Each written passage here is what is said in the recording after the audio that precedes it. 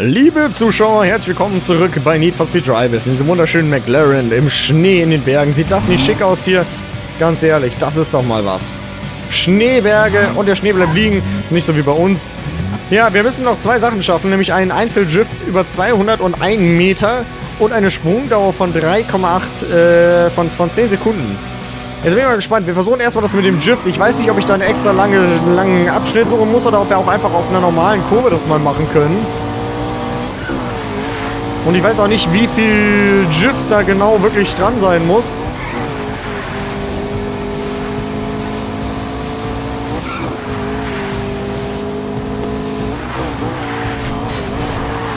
Okay, das waren glaube ich 46 Meter. Also 200 Meter scheint schon ganz schön viel zu sein. Da muss ich mal gucken.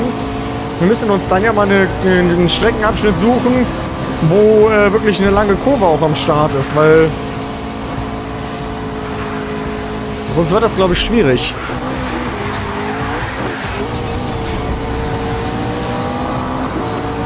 Zweihundert Meter.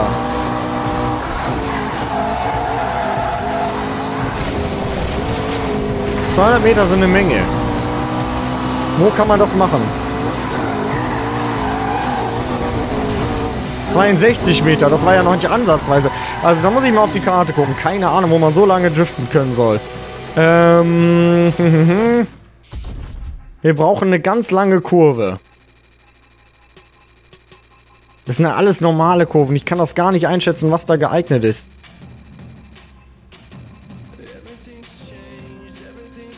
So eine enge Kurve eher nicht, sondern wir brauchen eine langgezogene Kurve. Eine, die richtig lang rumgeht.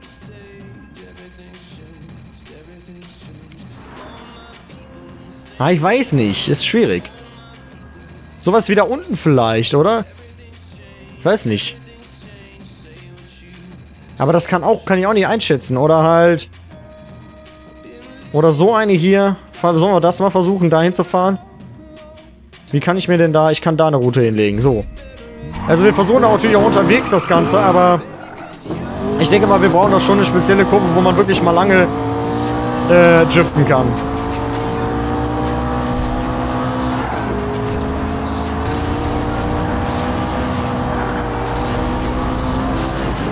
Oh, ich wusste es, ja. Ich sehe die immer so spät. Ich achte da auch nicht drauf. Der scheiß Verkehr, ey. Aber vom Sound her ist der ziemlich geil, oder? Müsst ihr doch mal zugeben.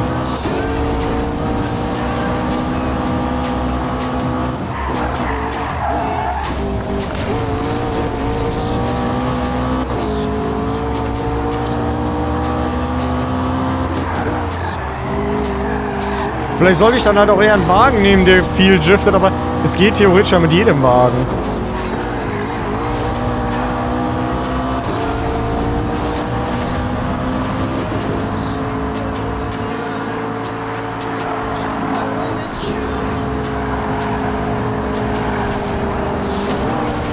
Nee, ich will dich gar nicht verfolgen. Hau ruhig ab. Wollte ich gar nicht, danke.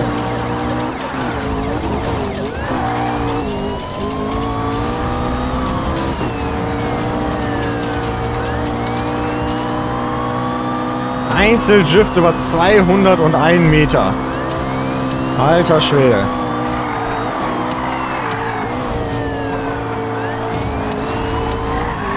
Also von den Kurven her scheint die Strecke hier schon ganz gut. Da waren ja schon einige lange Kurven.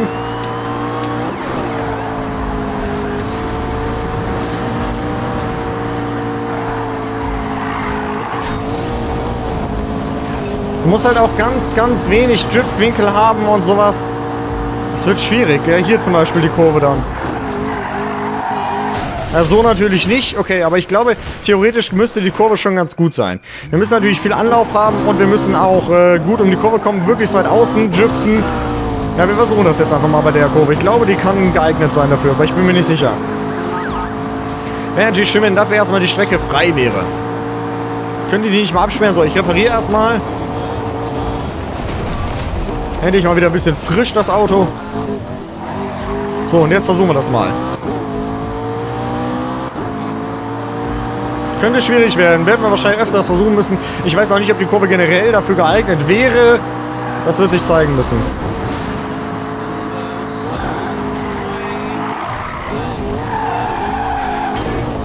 Doch, das war's schon. Jawohl.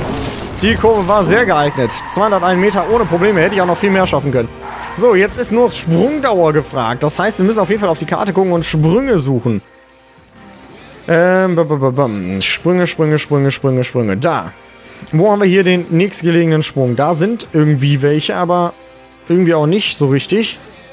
Da sind welche, die ich anscheinend benutzen kann. 109 Meter. 80 Meter. 97 Meter. 78 Meter. Wo waren denn diese mit den ganz, ganz, ganz weiten Rampen? Da waren doch irgendwo welche, die so ganz krasse Rampen hatten. 447 Meter. 62 Meter. Ich gucke gerade nach welchen mit ganz langen Meterangaben. 70 Meter. Ich glaube, das weiteste war dann doch 109 bis jetzt. Nee, da, 148. Da wollen wir hin. Ist weit weg, glaube ich. Aber egal, wir haben ja Zeit noch. Und das ist ja auch das letzte aus dieser Speed ist. Und wenn wir das haben, können wir nämlich auch schon wieder zu den... Aber auch sehr schön hier gerade der Streckenabschnitt, muss ich sagen. Gefällt mir echt gut hier. Ähm, wenn wir das fertig haben, können wir auch schon wieder zurück zu den Rasern. Da sind wir nämlich bei den Cops auch wieder auf äh, Stufe 16.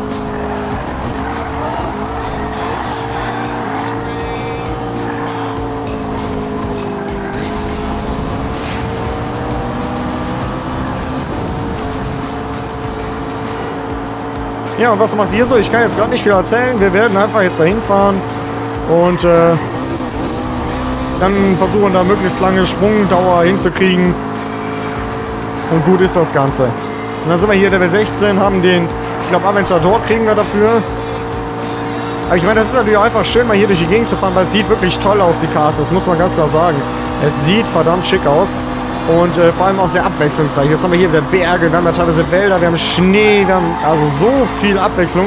Das gefällt mir echt gut. Die Karte haben sie sehr schön hinbekommen, finde ich.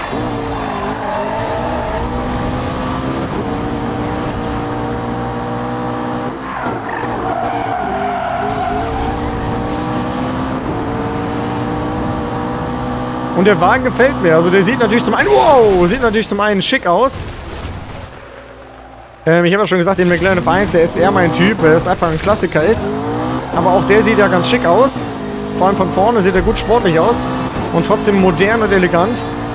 Und ähm, klingt vor allem auch hier im Spiel sehr nice, finde ich. Und steuern tut er sich gut. Also er hat ein gutes Handling.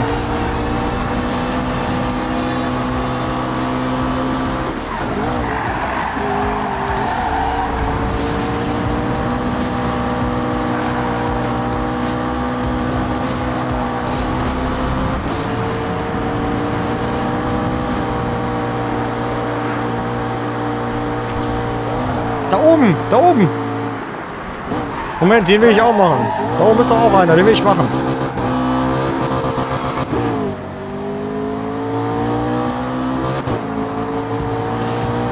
Den will ich machen, der ist auch geil.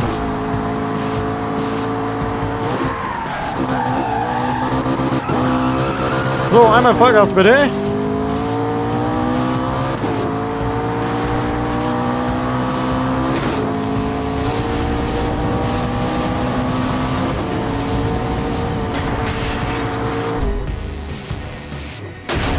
So, dann haben wir jetzt 6 Sekunden. Ich könnte das jetzt auch einfach an dem Sprung noch zwei, dreimal wiederholen. Dann hätten wir auch die 10 Sekunden voll. Aber ich will jetzt noch zu dem anderen Sprung, weil der so weit ist. Und äh, weil wir ja auch noch Zeit haben. Der ist jetzt auch nur noch 3 Kilometer entfernt, insofern. Boah, guck mal, der Wagen schafft auch 360. Hast du eben gesehen? Waren 360. Immerhin, gar nicht schlecht. Gar nicht schlecht. Tatü, tata, die Walle-Polizei ist da.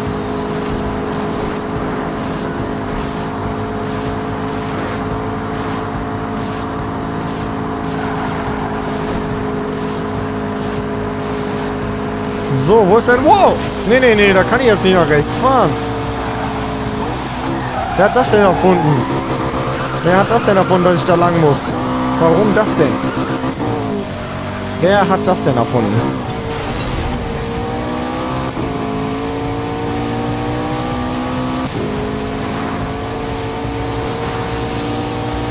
Ja, sehr klug Spiel. Jetzt muss ich auch noch umdrehen.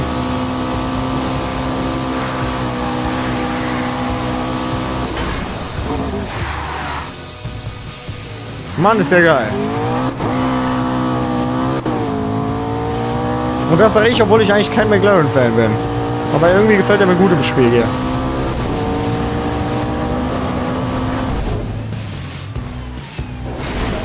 So, 8,5 Sekunden, das wiederholen wir äh, jetzt noch ein paar Mal und dann äh, ist das auch gut. Ich glaube, ein, zwei Mal noch wiederholen, dann sind wir mit der Speedlist fertig.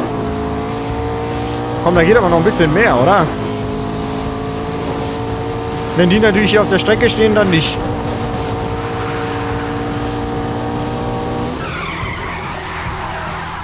Okay, mal schauen, was da noch geht.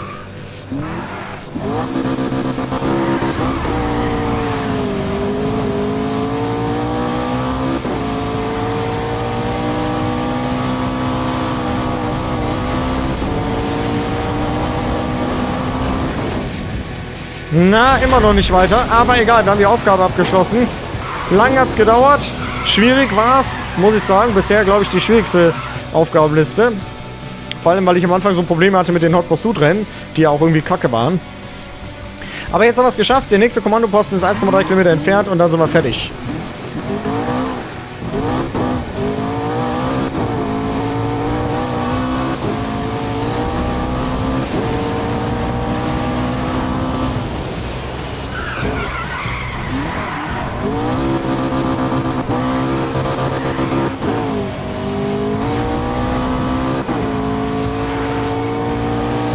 Haben die den denn wieder gelegt, ey? Da muss er zehnmal hier im Kreis fahren noch, damit du da mal ankommst. Jetzt haben wir es aber, oder? Ja, jetzt haben wir es. Okay. Endlich. Fertig, Leute. Fertig. War nicht einfach. Aber geschafft ist geschafft. Außer wenn das Spiel den Server abschmieren lässt oder es nicht speichert. Das kennen wir ja auch alles schon. Aber wenn wir die jetzt fertig haben, haben wir sie fertig. Und dann kriegen wir jetzt auch den Aventador, glaube ich. Erst einmal natürlich nochmal ein paar Speedpoints.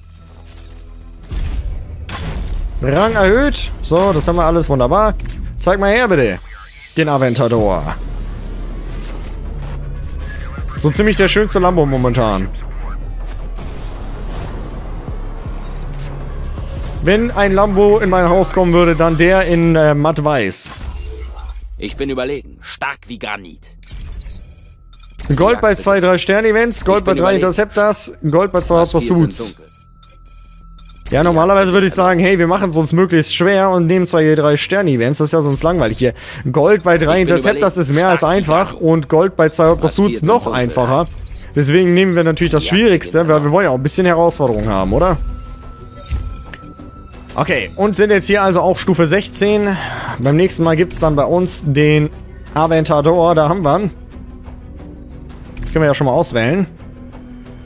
Wenn der mal nicht nach einem Kampfjet aussieht, ha? Aber nicht jetzt, denn jetzt wechseln wir natürlich erstmal wieder zurück zu den Rasern. Ein bisschen können wir da ja noch machen, wir haben ja noch Zeit. Und da sollen wir drei Cops zerstören. Genau, da hatten wir ja den Undercover-Kopfwagen. Insofern waren wir auch hier mit dem Kopfwagen. Was war mit dem Königseck Agera Air? Und wir haben uns schon ordentlich Speedpoints angesammelt für den Aventador, den wir dann hier tunen wollen. Ich habe mich ja dafür entschieden, dass wir den Aventador tunen und nicht den Veneno. Okay, da darf ich nicht auswählen. Nagelwand und Schockraum sind leider vorgegeben. Ich muss auch nur drei Cops zerstören, egal wie.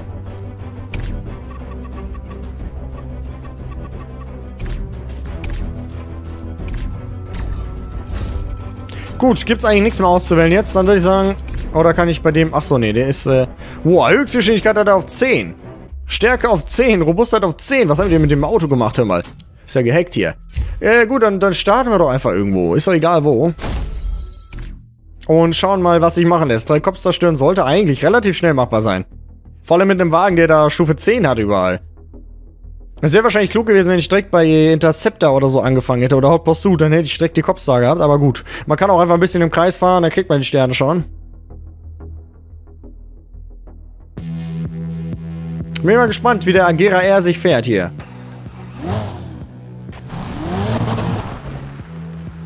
Bin ja natürlich mitten in der Pampa hier.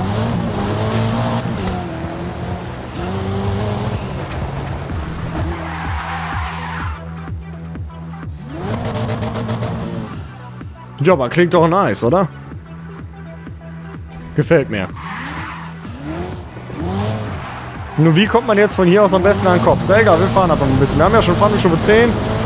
Wow, wie der wegzieht. Fahndungsstufe 6. Alter. Geiles Ding. Oh, da dachte ich, hey, rammst du mal den Kopf. Irgendwie ist das ein bisschen nach hinten losgegangen. Und ich habe im Endeffekt nur den Verkehr gerammt. Ja, danke, Spiel. So, mal schauen. Wir machen das mal so.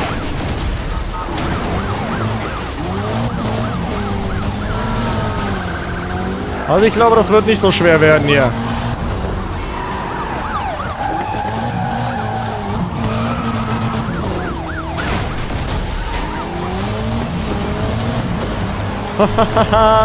Und die Cops sind mit am Start. Ja, ja. Alter, der Wagen zieht ja weg. Was der für Speed hat. Nee, nicht entkommen. Hallo, aufhören, nicht entkommen. Zurück.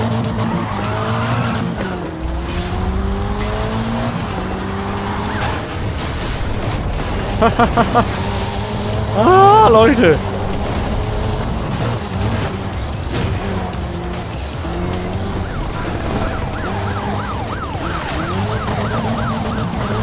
Ah, der scheint etwas stabil zu sein, weil der da auch so stationär steht.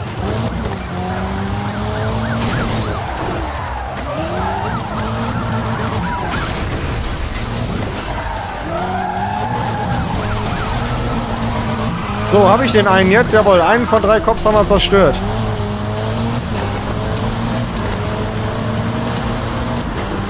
Also wie der mal einfach locker auf 300 geht.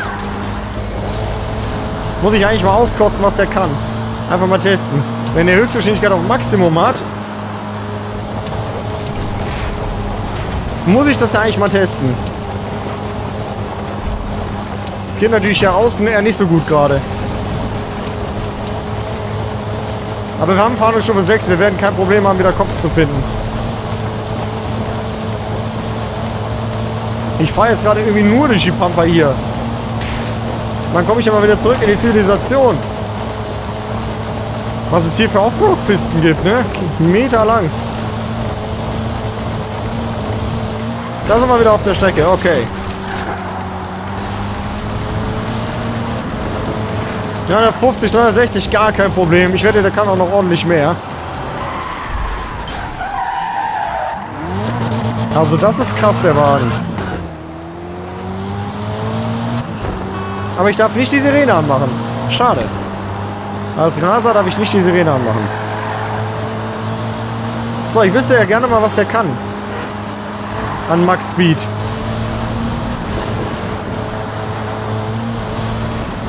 ...390. Oh, 410. 411. 417. Wow. Habe ich da gerade 429 gesehen? Wow. Leute, 429 km/h. Was haben die denn mit dem Auto gemacht? Was haben die denn da eingebaut? Zwei Bugatti-Motoren oder was? Ich glaub's ja nicht, ey. 429 km/h. Ach du Scheiße, ihr kranken Schweine.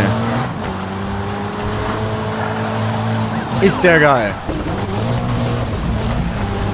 So, wir sollen aber doch eigentlich Kopf zerstören. Da darf ich gar nicht mal von abweichen hier von meinem Ziel.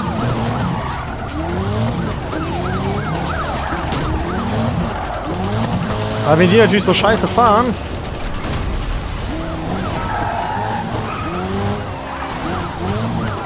Kann ich auch nichts machen.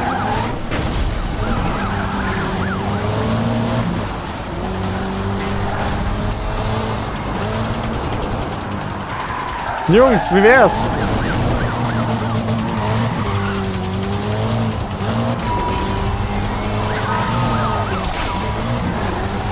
So, wir haben jetzt hier eine Werkstatt, deswegen fahre ich jetzt einfach hier immer die ganze Zeit rum.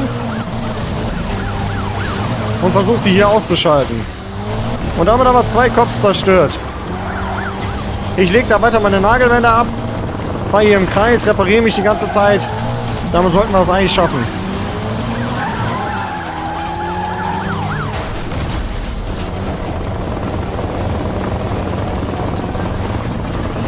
Fahndungsstufe 7.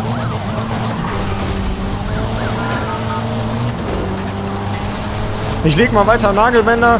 Die werden sich das schon gönnen, früher oder später. Nagelmann-Treffer, siehst du? Und, ja, schon abgeschlossen. Und dann sogar noch, obwohl wir uns nebenbei in Ruhe mal den Wagen angeschaut haben und geguckt haben, was der so kann. Und ich habe 4 von 3. Leute, da geht doch noch mehr. Wir haben doch noch Zeit, oder? Ne, der Part ist zu Ende, okay. Ich dachte, hey, machst du noch ein bisschen weiter? Weil es gerade so Spaß macht. 5 von 3. Walle der Kopfkiller.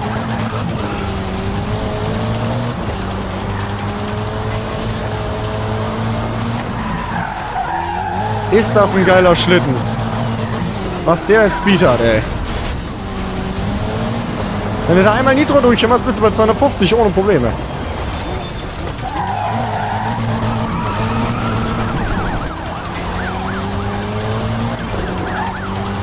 Nagelwand. Perfektes Nagelwand. Wir können eigentlich noch schön Punkte sammeln. 6 von 3 Rasern zerstört.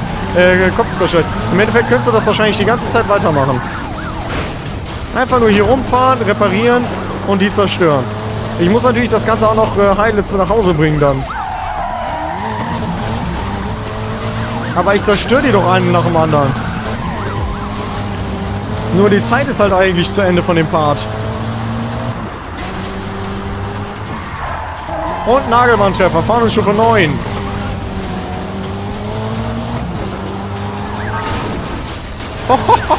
Wie die fliegen gehen.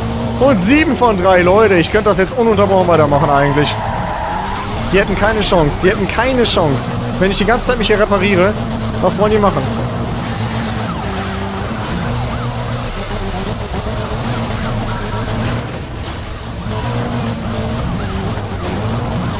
Aber irgendwie repariert er meinen Wagen gerade nicht mehr.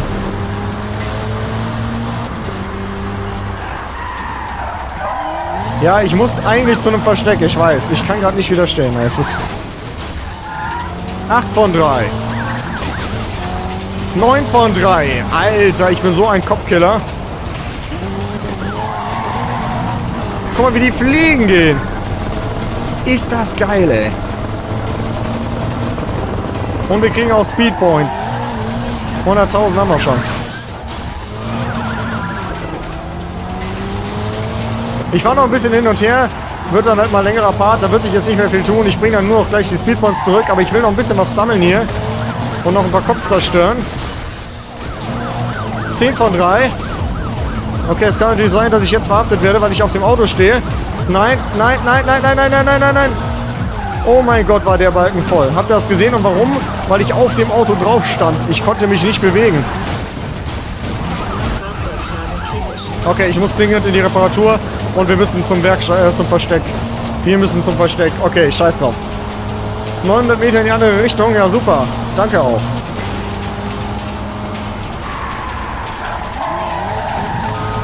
Tschüss, Jungs. Schönen Tag euch noch. War nett mit euch. Hat Spaß gemacht. Aber irgendwann muss ich auch mal nach Hause. 10 von 3. Also ihr seht, 3 waren gar kein Problem. Ich hätte auch locker noch 20 zerstören können.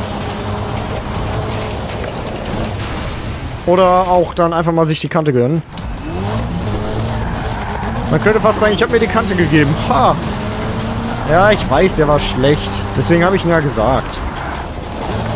Nein, ich will jetzt kein Kopf-an-Kopf-Rennen fahren. Ich habe ein Kopfauto, Junge. Warum forderst du ein Kopf zum Kopf-an-Kopf-Rennen heraus? So, das war's war das mal wieder kopfzerstörerisch. Alter Schwede, ey. Aber geil. Doch. So viele Cops habe ich, glaube ich, noch nie in einer Session zerstört. Ich wette, später kriegen wir dann auch so Challenges von wegen töte 20 Cops in einer Session oder so. In 5 Minuten 32 waren wir fertig, haben dann noch ungefähr sieben weitere zerstört, aber macht ja nichts. Und eigentlich müsste jetzt auch ein neuer neues Video kommen, glaube ich. 429,4 km/h Spitze. Wow, ich glaube, das wird kaum noch ein Wagen überbieten können. Aber es kommt ja dann später auch noch der Bugatti Veyron Supersport oder so, glaube ich. Aber ich meine, der, wenn der hier natürlich bei der Höchstgeschwindigkeit 10 von 10 hat, müsste das ja eigentlich schon Maximum sein. Vielleicht hätte man mit einem Turbo noch, ja, 450 rausholen können, aber das wäre schon krass. 429 ist schon mehr als übertrieben. Naja, gut. Rang erhöht. Und ich glaube, wir kriegen jetzt hier äh, ebenfalls den Aventador. Und wie? Ist der geil.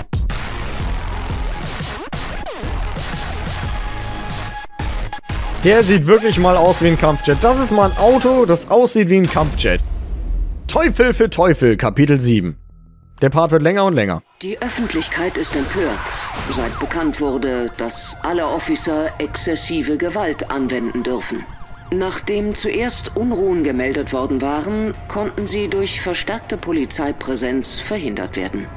Insbesondere gilt ein Racer, Codename Zephyr, als eine Art Robin Hood, nachdem er ein Polizeifahrzeug gestohlen und so eine massive Verfolgungsjagd ausgelöst hatte. Das ist mehr als nur ein Rennen. Wir senden Ihnen eine Botschaft. Und die Leute hören zu. Meine Präsenz wird Ihr Versagen offenlegen. Okay, beim nächsten Mal gibt es wieder einen Lamborghini. Jetzt haben wir gerade einen freigeschaltet. Dann gibt es schon den nächsten, nämlich den Veneno.